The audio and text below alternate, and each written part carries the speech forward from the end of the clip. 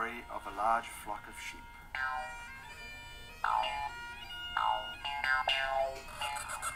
Who jump over a fence to help Kian Noseworthy sleep. Some jump high, and some jump far, and some can barely jump at all. But there was one little sheep who was handsome and keen.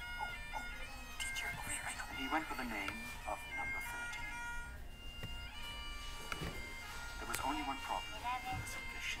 Before his number was called, little Kian would fall asleep. Again and again, night after night, the other side of the fence was never in sight.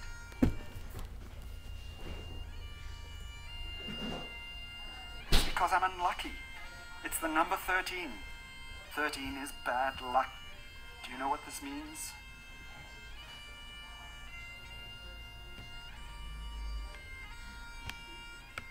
I'll never be lucky, not as long as I stay. You need to relax. You'll get paid either way.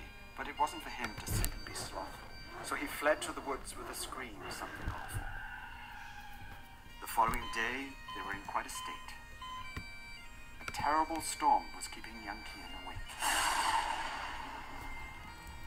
He tried and he tried to count all the sheep, but without number 13, he was getting no. So they sent number 7 to find 13, who found him alone at the edge of the stream.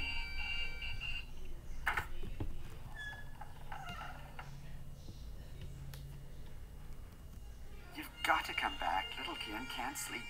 He needs number 13 to count all the sheep. So it seemed his good luck had finally commenced.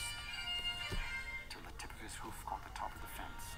As he lay on the ground, the flock held their breath. Had number 13's jump counted? Did it put Kian to rest? Thirteen. Thirteen. Yes! Kian Noseworthy was finally asleep. Thanks